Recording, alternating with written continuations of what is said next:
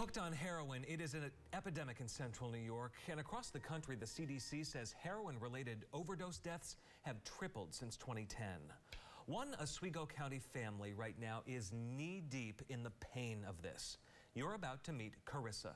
She opened up to CBS 5's Allison Bybee about her addiction, her love affair with drugs, and how her family stepped in to save her life. This is a true story of what it's like to struggle to get clean in central New York. Totally insane. She definitely wasn't herself. Heroin has made me everything that I'm not, a liar, a manipulator, a thief. It took everything from me. I mean, I was a hope to die junkie. Um, it literally consumed me. I was a slave to that drug. That drug? Heroin. Carissa Hiltz has been a drug addict for 15 years. We're just gonna have to get a grill line sweep. All right, what do you got, bud? But just looking at her working as the kitchen manager at her mom's Central Square diner, you would never know what she has been through. But looks can be deceiving. I started using OxyContin when I was 13. Uh, a friend's mother gave it to me. Yeah, I was in love uh, instantly. Carissa says childhood trauma, being gay in central New York, and dropping out of school early led her to search for an escape. She says she found that in pills, then at 20, heroin.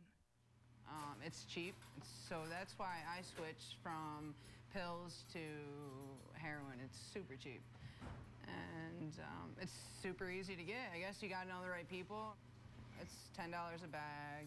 Um, I myself, I was doing anywhere from like 20 to 40 bags in a day. Um, it's, yeah, it's a lot. You all right?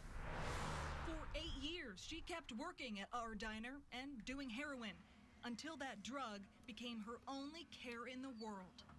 You know, I was just a ticking time bomb. Well, if I wasn't, like, I would run through you to get the next fix. Didn't matter what. I needed to get it, you know?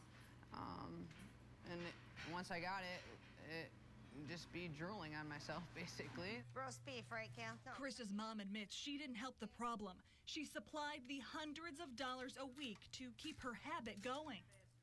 I was afraid if she didn't do it, she was going to steal or end up in jail. But I was also afraid that she was going to crash her car, kill her, kill somebody else. I mean, I was just terrified.